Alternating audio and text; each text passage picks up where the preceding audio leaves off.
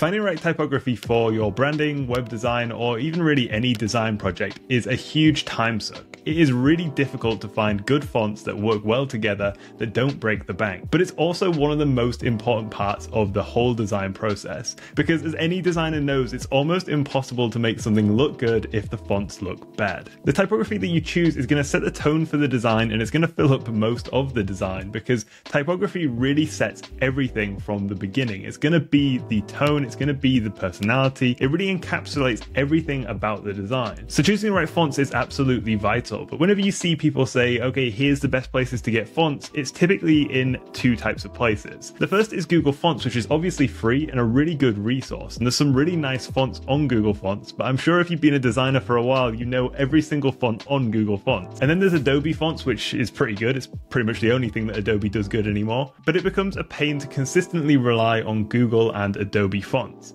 The other place that's obvious to go is the really expensive type foundries, and I often go to these places because if we have the budget for a project, it's the best place to go because those fonts are really good. But after spending countless hours looking for alternatives to Google, Adobe, and the super expensive type foundries, I found a few different ways to actually get inspiration and get ideas for typography pairings. So in this video, I'm going to share with you two resources which are going to help you find inspiration and gather together different fonts. And then I'm going to share two different places that you can find fonts. One is free and one is relatively cheap. So the very first step that I do when I'm trying to look for different typography pairings is I'm going to create a list inside of Notion. I'm going to write in that list all the different fonts I want to try out. And I'm going to try to get a free trial of that font, or if it's a free font, I can just download it myself and then use it inside of Figma to see what it looks like as a pairing. So the very first place I come to is Typewolf. Now inside of Typewolf, what you have on the homepage is different pairings used on live websites. So you can see here there's some different design examples and you can click on the specific font.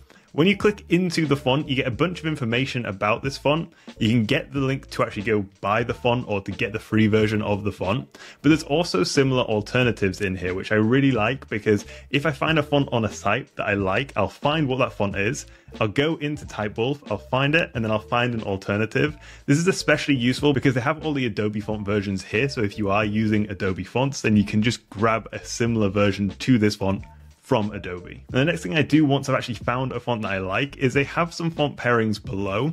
And with this, what you can see is what this font looks like with other fonts. So for example, I can see what all these different pairings are looking like. And if anything catches my eye, maybe this one here, I can think, okay, do I like this font? Could I use this in the design? Should I get a free trial of this font to test it out inside of Figma? So for me, Typewolf is the first place I come because I can get so much inspiration really quickly. They also have lists of really popular fonts. If you're looking for something that is used a little bit more often, you can see there's different lists here and there's also alternatives to really popular fonts. So the second place I look when I'm looking for inspiration for some nice typography is Maxi Best Of. Now initially this was an inspiration board, but they also have a way to browse by the fonts they used. Once you go into here, it's going to categorize all the inspiration that they have by the fonts that are used on the website. So the very first ones are always the fonts that are used most often. So you're going to see Inter, you're going to see Helvetica, you're going to see GT America, things like that.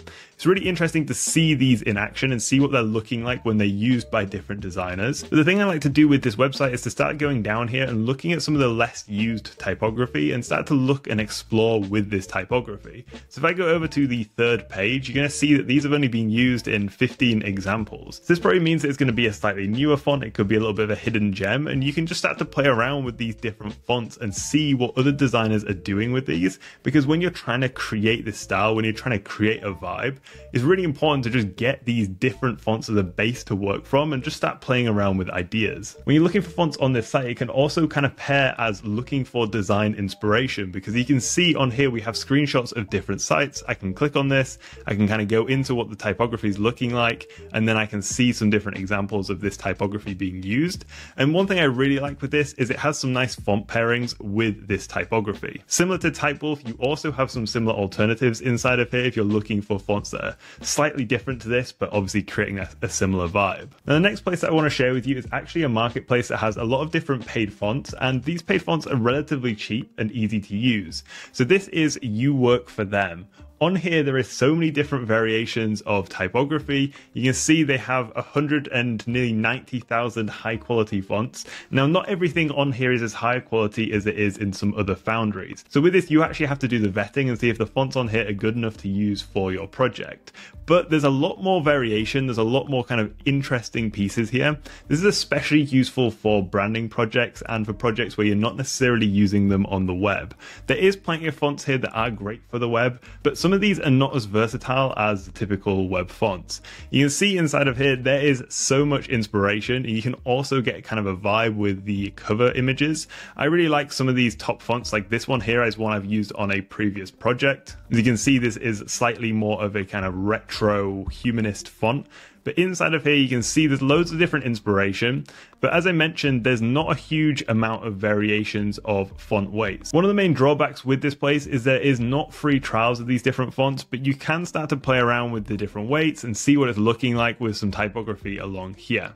I typically find myself coming to this site over and over again when I'm looking to work on a project that has a little bit more flair. Typically, that will be also involved in the branding side of things. So if we're creating a whole vibe, and we're not necessarily just going for like the super clean tech look, this is where I'm going to come look for some font inspiration. And the final place that I've been going recently when I'm looking for different typography to try is one of my favorite free foundries. So this is called FontShare. And on FontShare, there is so many nice fonts, Satoshi being one of the main ones that is very popular at the minute. But on here, there is so many different variations of fonts that are all really clean, all look really good, and completely free to use. As you can see on here, it feels like the list is somewhat kind of endless of different types of typography that you can test in here. You've got so many different variations. I know a lot of these are pulling from free fonts in other places, kind of open source fonts like Plus Jakarta. But at the very top of this, they are some of my favorite fonts at the minute. Um, one we've been using a bunch is this Switzer this one here, been using this one a bunch recently, along with General Sans. So there is so many fonts in this one. This is one of my favorite places at the minute to get free fonts that is not just Google fonts, it's not just like the typical ones you're seeing. This Foundry is also really nice because it has the different font pairings that you can use. You can see these in action without having to actually download the thing and then bring it into Figma. So for me, that is the four different places I'm to go look whenever I'm looking for typography at the start of a project. These places have helped me save a lot of time and I don't spend as many hours as I used to looking for the perfect typography. Now, as I mentioned earlier in the video, if the project allows, I always go to a paid foundry because for me, paid foundries have the highest quality fonts that really is undefeated when you're trying to create a certain vibe. So if you'd be interested in a video on different font foundries, then just let me know in the comments and I'll make one in future. As always, thank you very much for watching and I'll catch you in the next one.